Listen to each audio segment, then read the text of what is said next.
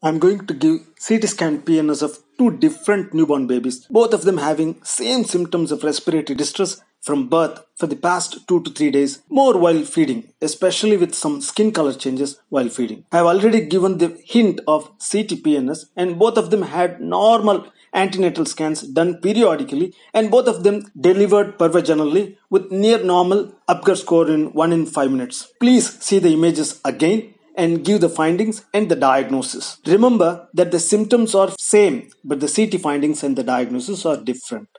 If you want more time, please pass the images and then proceed. Now I'm going to give you the findings and the diagnosis. Before describing the abnormal CT findings, it is important to know about the CT anatomy morphology of the PNS of the normal newborn babies to give the visual memory. Please see the normal neonatal CT PNS anatomy, especially maxillary space marked as MS, nasal septum, especially the vomer marked as V, anterior nasal space covered by pyriform aperture marked as PA and the posterior nasal space filled with air which is called as posterior choana marked as PC. With the visual memory of the normal CT PNS of the newborn, the diagnosis is simple and straightforward. The first one shows significant narrowing of the anterior nasal process with overgrowth and narrowing of the anterior pyriform aperture more on the right side. The posterior choana appears patent with no narrowing. The vomer appears normal. The diagnosis is congenital pyriform aperture stenosis bilaterally, more severe on the right. Now we'll go to the second one, which shows significant narrowing of the posterior nasal choana with highly thickened vomer. The obstruction is pronounced more on the left side with obstructed fluid level. The anterior nasal process of the maxilla appears patent with no overgrowth here and there is no narrowing of the anterior pyriform aperture. Bony overgrowth looks more pronounced than the membranous part if compared to the CTPNS morphology, normal newborn baby you have seen. Now we'll go for the discussion.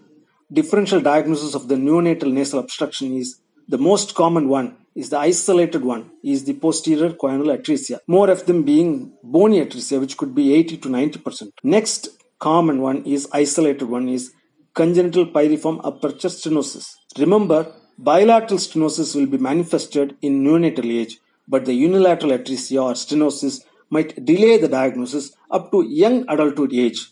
Be aware of this fact. Congenital nasal obstruction may be coexistent with some cardiovascular and GIT anomalies. We can see ASD or VSD or any aspiration pneumonitis and some GI malrotation have to be ruled out before the surgical correction of these uh, diseases. Few syndromes like Charge syndrome, Treacher-Collins syndrome, Crouzon syndrome, and Apert syndrome might be thought of when you see these cases.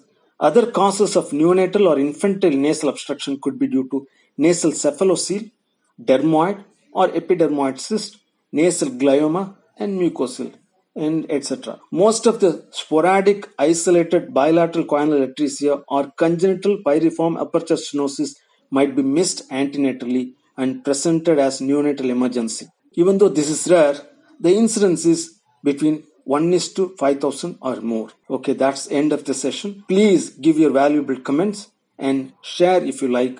Thank you very much.